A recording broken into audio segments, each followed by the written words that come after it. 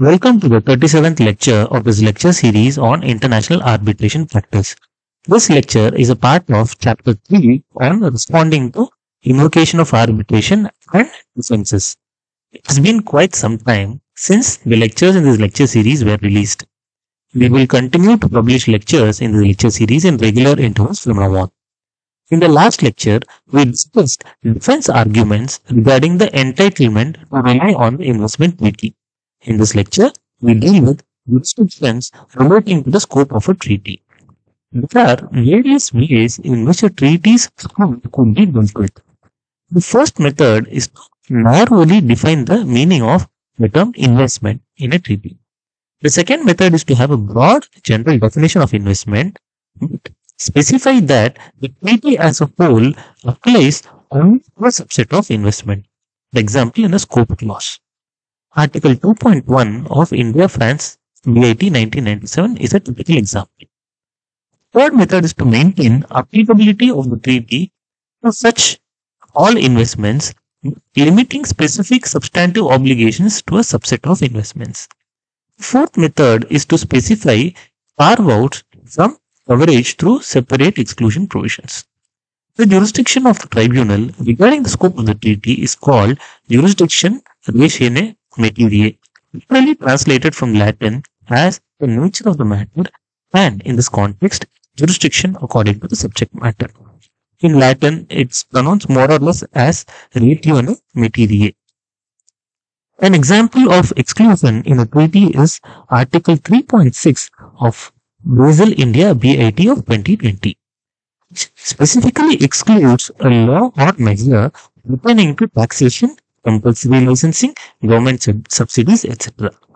Article 3.6 of Brazil India BIT 2020 states, this treaty shall not apply to B. Any law or measure regarding taxation, including measures taken to enforce taxation obligations. C. The issuance of compulsory licenses granted in relation to intellectual property rights or to the revocation, limitation or creation of intellectual property rights to the extent that such issuance, revocation, limitation or creation is consistent with international obligations of parties under the WTO agreement. B. Government procurement by a party. E. Subsidies or grants provided by a party to vulnerable groups in accordance with its law. Likewise, there are situations where treaties could specify, specify they do not limit the power of the state to apply prohibitions or restrictions or take action protect essential security interests, public health, etc.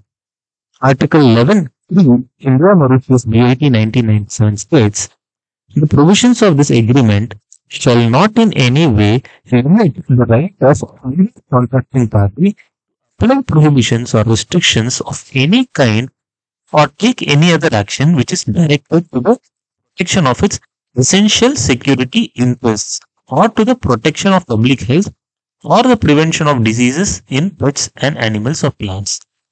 Sometimes treaties explicitly or even implicitly mention that illegal investments are not protected under the treaty.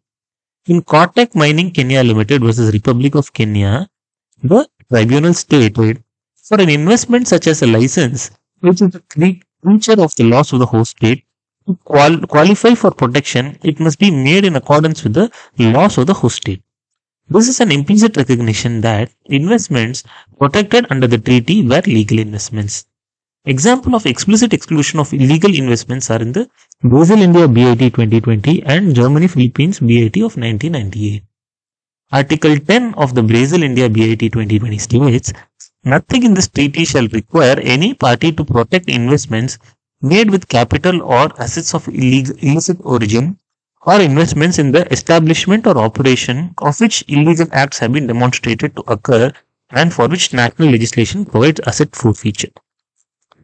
Article 2.1 of the Germany Philippines BIT 1998 states, each contracting state shall promote as far as possible investment in its territory by the investors of other contracting state and admit such investments in accordance with its constitution, laws and regulations as referred to in Article 1 paragraph 1. Such investment shall be accorded fair and equitable treatment. Now, Article 1.1 of the same BIT defines investment as term investment shall mean any kind of asset accepted in accordance with the respective laws and regulations of either state. Construing the BIT, the tribunal in Fraport vs. Philippines held Fraport knowingly and intentionally circumvented the ADL by means of secret shareholding agreements. As a consequence, it cannot claim to have made an investment in accordance with law, nor can it claim that high officials of the respondents subsequently waived the legal requirements and validated Fraport's investment. For the respondents, officials could not have known of the violation. Because there is no investment in accordance with law, the tribunal lacks jurisdiction rate ratione materiae. So this is a case where a claim was brought against Philippines and Philippines relied on the ground that the investment to be made should be legal in nature. So that's all in this lecture. See you in the next one.